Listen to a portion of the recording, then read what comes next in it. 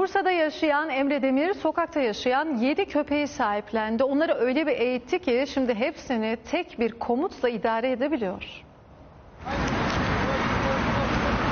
Şila, Mira, Jesse, Pascal, Safinaz, Cafer, Karamel. Hepsi de sokağa terk edilmişti. Yedisine de evini açtı.